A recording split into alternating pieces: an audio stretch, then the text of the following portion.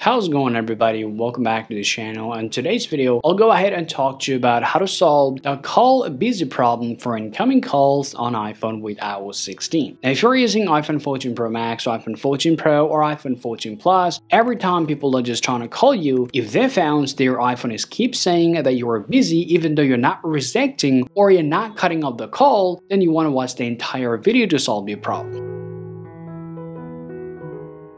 To solve your problem, the very first troubleshooting guide that I'm going to show you here is called Do Not Disturb Mode. Well, you know it or not, if you open up your settings on your iPhone here, and if you scroll down to your focus, and then if you enable this option called Do Not Disturb Mode, then you can have this problem. You can simply swipe down from the top here and turn up Do Not Disturb mode. Well, in the next things, I'm going to talk about some of the important settings from your call application. So if you open up your settings on your iPhone here, if you scroll down there, and if you come to your phone option, here you will see the multiple option. Now if you just set them incorrectly, then you can have the similar problem. Once you come over here, first you gotta tap on call forwarding. Sometime enabling the call forwarding feature can actually cause a problem. So if you see it's enabled here, simply go ahead and disable these features from here. Now simply get back here, do the same thing for your call waiting as well. Sometime enabling this feature actually can cause a problem. Now get out of here and now just go ahead and press that volume up button and down button and quickly press press and hold your power button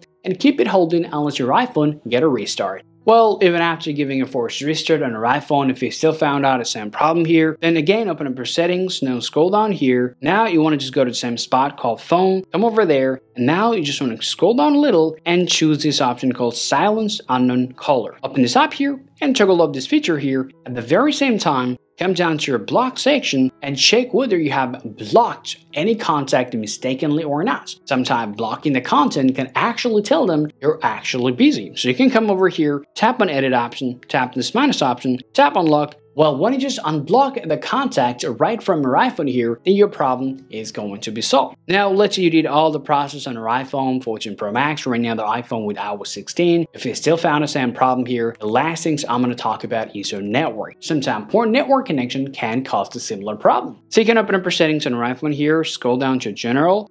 Now scroll down again and tap on Transfer Reset iPhone here, tap on Reset, and tap Reset Network Settings.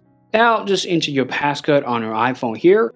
Now just tap Reset Network Settings and your iPhone is going to take a restart and your problem is going to be solved. And after that, well, everybody's going to call you up, but your call is going to come on. You'll be able to talk with them without even getting any problem. So these are the ways that you guys can follow to solve your busy problem on your iPhone with iOS 16. Hope you found this video useful. If you think so, drop a like and subscribe to the channel. Thank you for watching, and I'll talk to you later. Peace out.